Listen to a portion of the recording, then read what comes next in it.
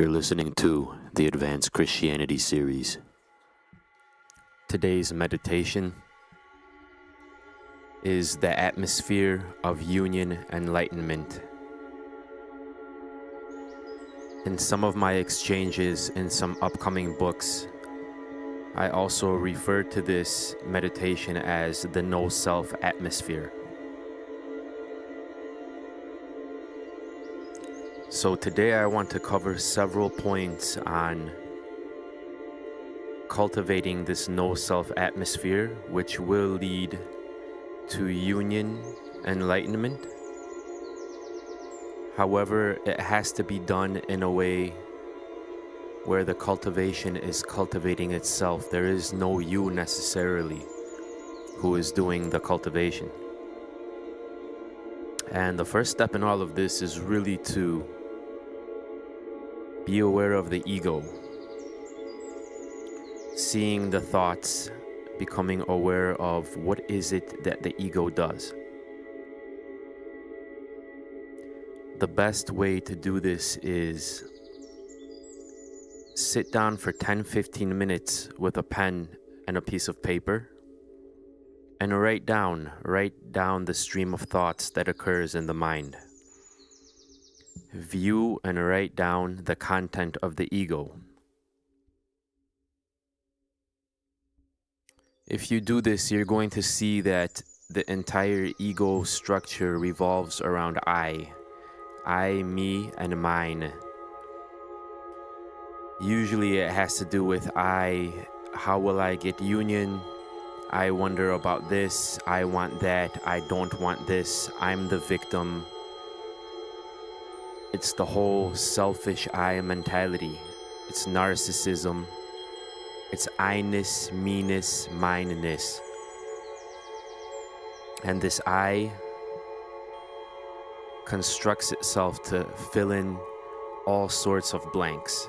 So, for example, if I have I fill in the blank, this I, this ego construct, believes itself to be all these different things.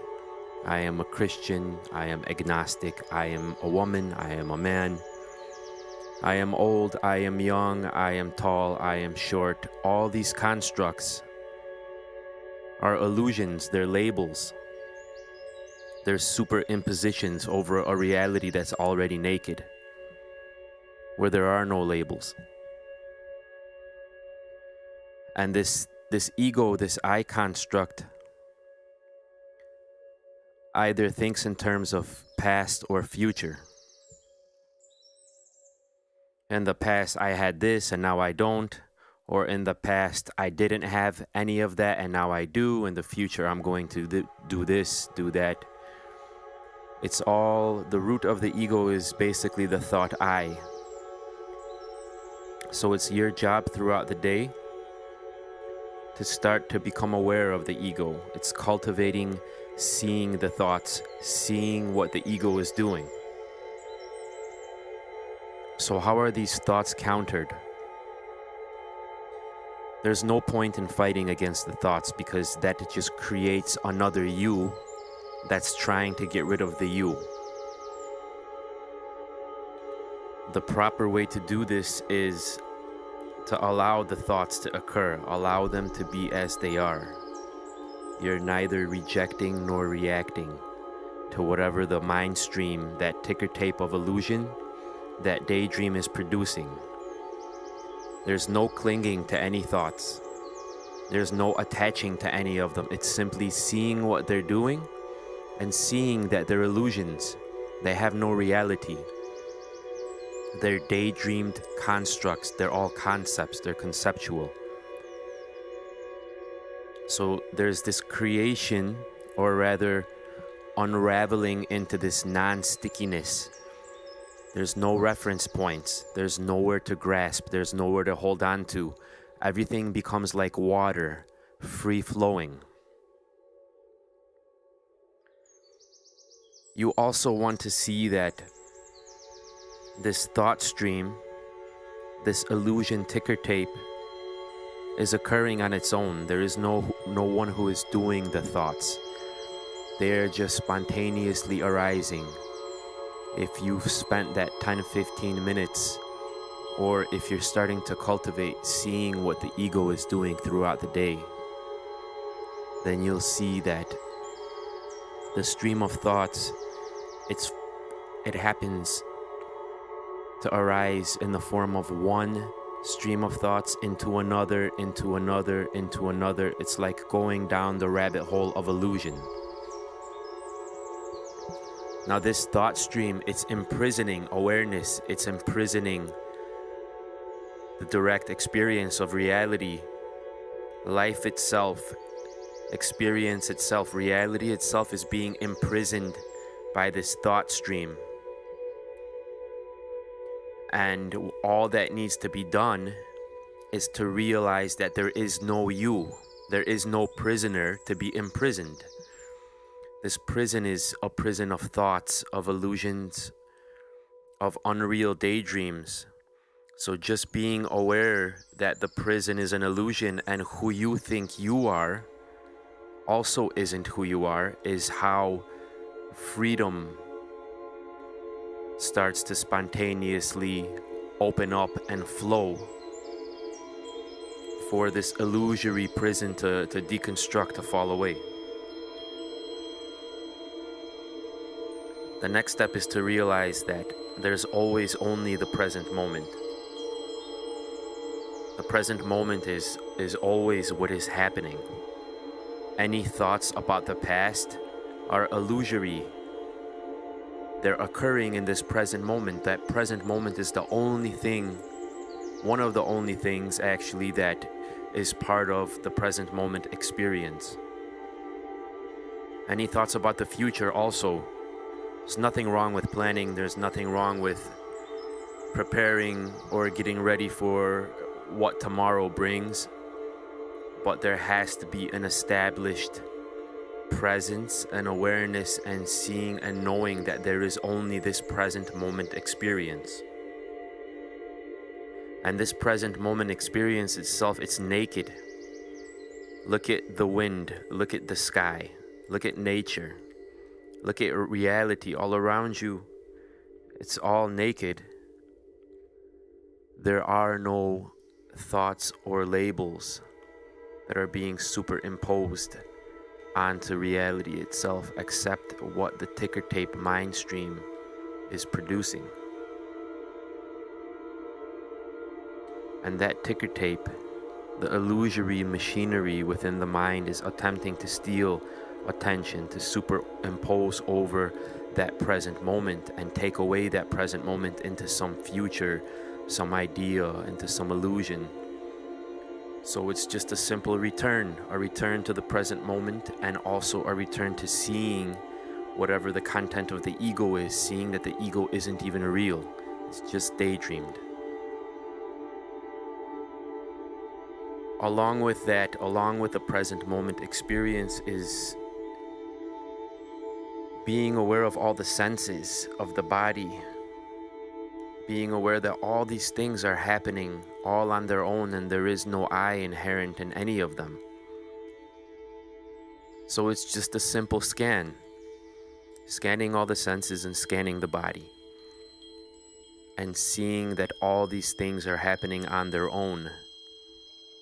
The eye seeing, seeing is happening on its own, there is no seer. Moving to hearing, hearing is occurring on its own, there is no hearer. So, for example, let's take these two senses. What you can do is you can start to cultivate and establish peripheral seeing. Peripheral seeing is allowing everything in the field of vision to be one. Vision can simultaneously, or it can rather jump from being focused on one item and then focusing on another item and then another item, or rather letting go of focus and just taking all of vision in, the whole visual field, taking it in as all one united field. Without labeling, without labeling one tree as a tree, without labeling the sky as sky, without labeling the grass as grass, without labeling any people as individuals. Just taking the whole visual field as one unlabeled seeing without even labeling the seer. Seeing is happening, it's happening of its own accord, and what is seen is also happening on its own without any labels. Starting to get used to that kind of reality. Same thing with hearing. The birds, the ears hear the birds, all of that is spontaneously, miraculously happening on its own. There's no need to label the birds chirping as birds. It's just allowing what is occurring to happen without any labels.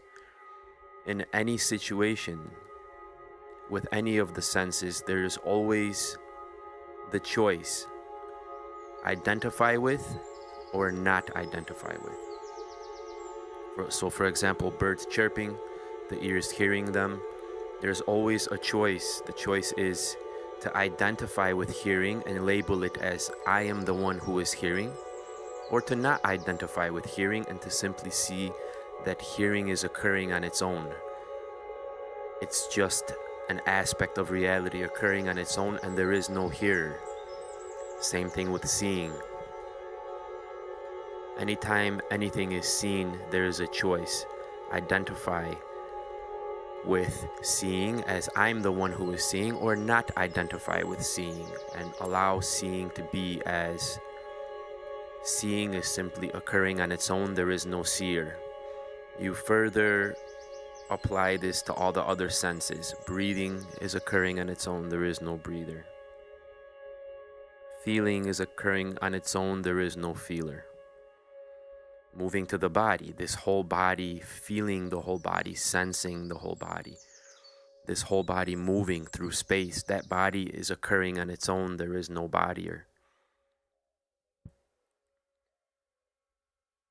In the midst of all of this is also being aware of the senses, being aware of the body, being aware of the ego. That awareness also, there is a choice to identify with awareness or not identify with awareness.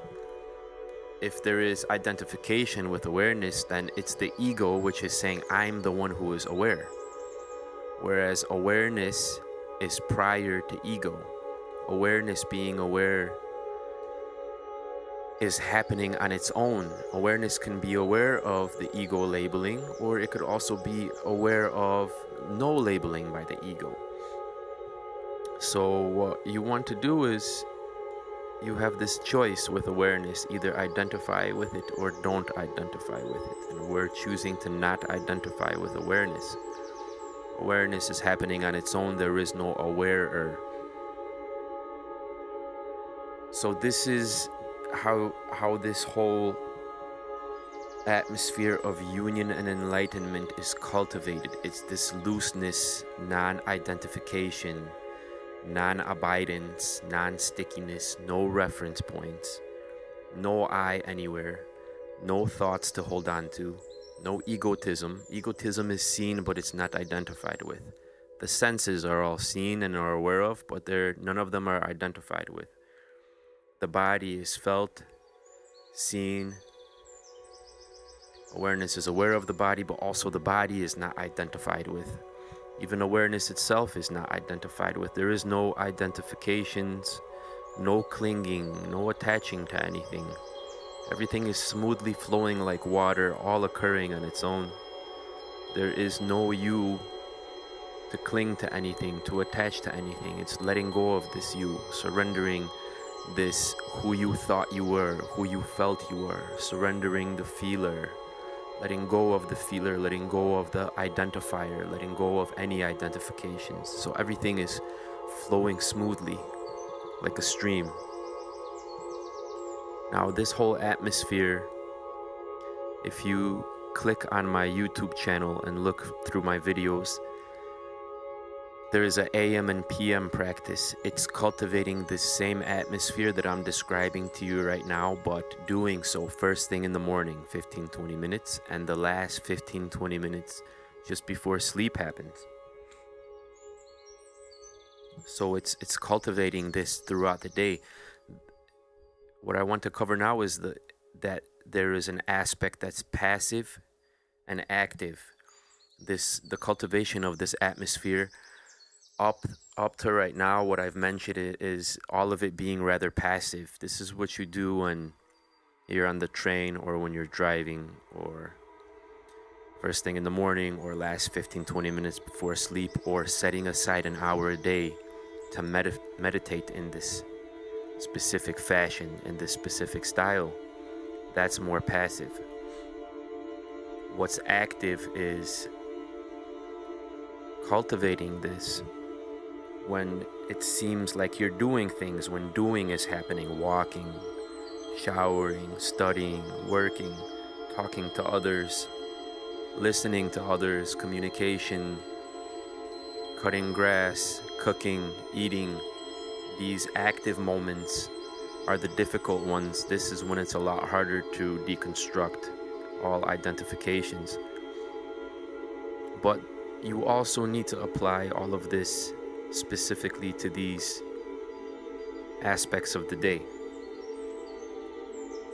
What I basically call these are micro events. Your day is split up into an X amount of micro events. So, what are the micro events? Waking up is the first one. Getting up from bed and walking into the bathroom is the second one. Brushing teeth, using the toilet, showering is the next micro event leaving the bathroom to go get breakfast and start the rest of the day. That's the next micro event. Cooking breakfast is the next micro event. Eating breakfast is the next one.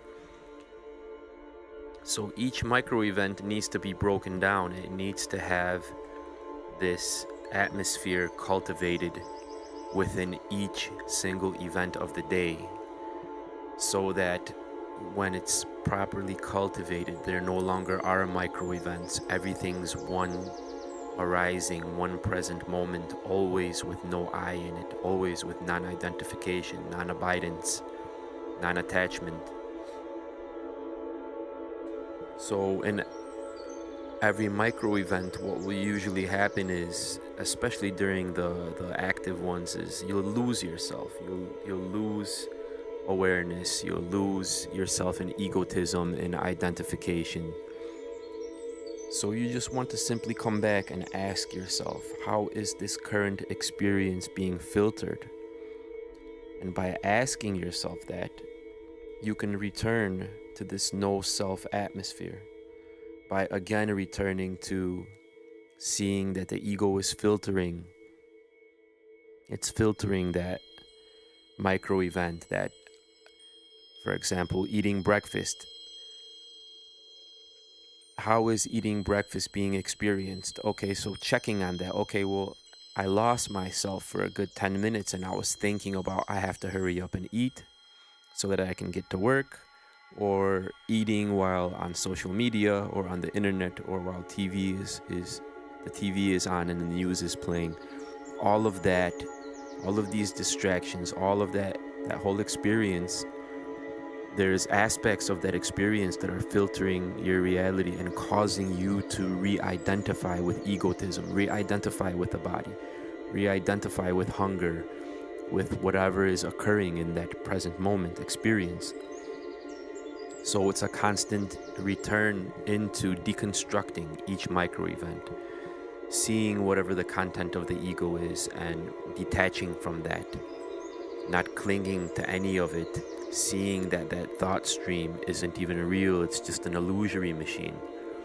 And then returning to the present moment and seeing that that present moment experience is happening on its own without an experiencer. Eating is happening without an eater. Being hungry is happening without a being hungrier. There is no I who is hungry. Hunger is occurring on its own. Eating is occurring on its own. Washing the dishes after eating is occurring on its own. Going to work is occurring on its own. Driving is occurring on its own. Breathing is occurring on its own. This is how everything is always constantly deconstructed so that there's always this return to this present moment, to attention, to awareness, to the looseness of identity. So there is no identity, everything's free flowing.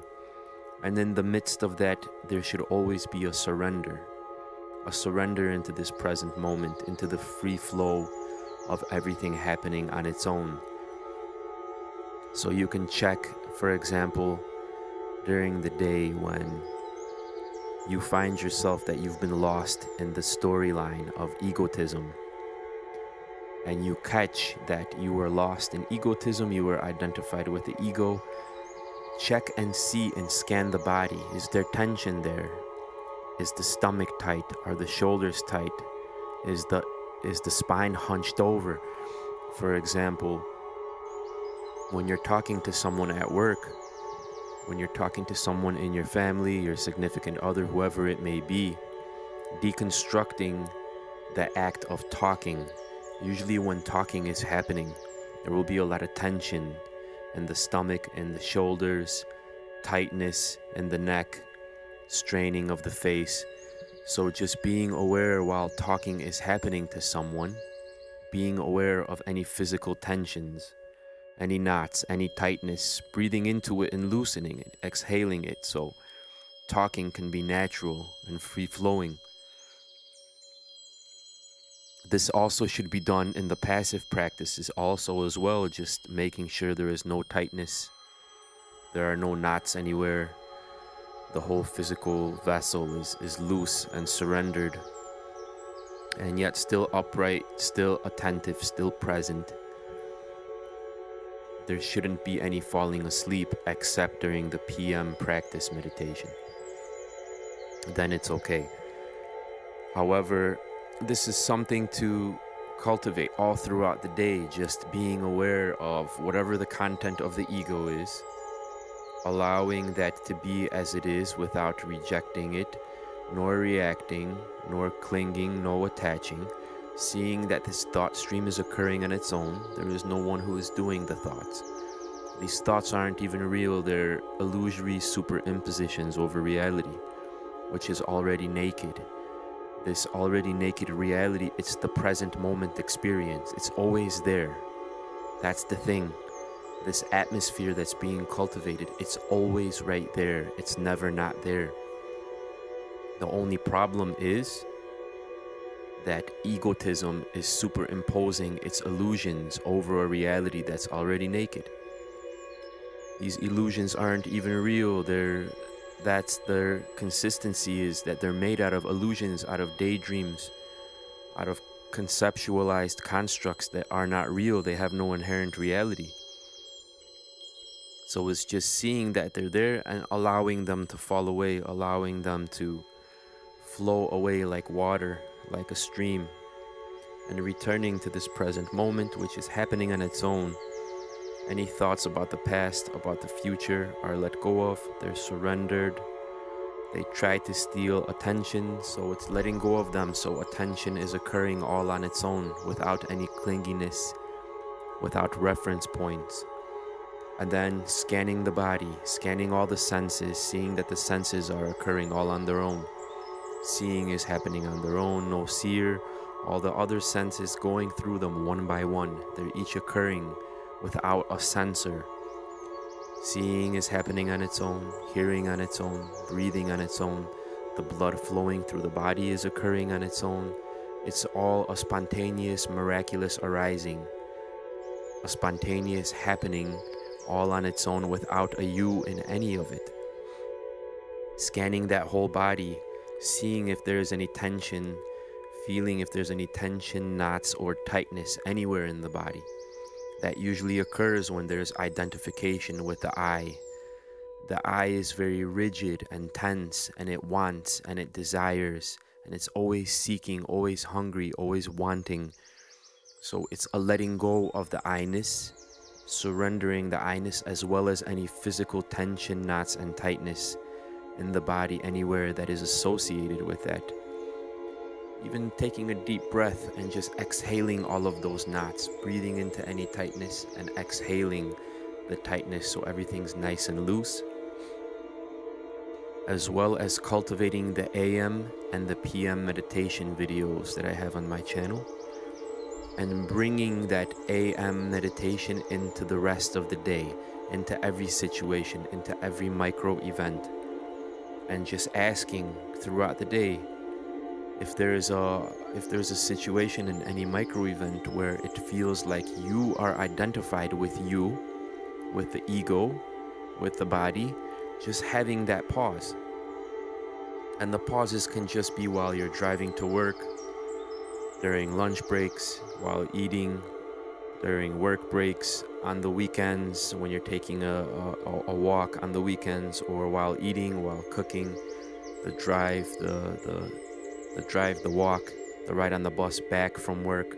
There's all day, there's plenty of opportunities to simply ask, how is this current experience being filtered? And then returning again to seeing what is the content of the ego, not identifying with anything the ego does, not identifying with any of the senses, not identifying with the body, with any tensions, and just surrendering everything so it's nice and loose and that present moment experience is occurring all on its own without an experiencer and allowing a surrender, a falling, this an allowance, allowing everything to occur as it is, being in that present moment experience and allowing that being to be there as it is. That beingness, the beingness of the present moment experience without a beer, without an identifier, without a you everything is already united. It's the ego that comes in and separates and divides everything, causes division, causes labels, causes separation. I am this person, and the other people that I'm seeing are other people. Whereas how it should be is there is no labeling as I am this person. There is no feeling that I am this person and other people are other people. Instead, there is no labeling occurring at all. Everything is just free flowing. When seeing is occurring, it's peripheral seeing without any labeling of whatever is being seen. If hearing is happening, then allowing hearing to happen without labeling what is heard, without any judgments, without any positions, reference points, concepts, and cultivating this kind of atmosphere is what will produce union and enlightenment. And this is not something to look for. This is something that will occur on its own. It will occur when there is no looking for it, when seeking is surrendered, when looking for it is surrendered. And there is just this surrendered, natural, present moment experience without an experiencer, without any identifications, without being stuck to any reference points, any I, any meanness, any mineness, and this is what will produce union and enlightenment eventually. So it's just getting used to this, playing with it. I'm sure there will be a lot of questions that the ego will have, letting go of questions, letting them fall away. Or you can send me an email see some of the other videos. For example, the AM and the PM meditations will also help. And just allowing this atmosphere to occur in this way all throughout the day, it will have a cumulative effect. It will start to cultivate itself, it will start to gain steam and become more and more and more. And you can see this because there will be less of you there will be more unraveling of you, undoing of you, and this wateriness, this flowingness, this allowance, allowing everything to flow as it is, will start to become more and more. And then this is what will produce the door opening into union and enlightenment. And it occurs on its own. It's nothing to look for, nothing to try to find. It has its own intelligence. And that intelligence is grace. And that grace has its own timing and its own way of opening things.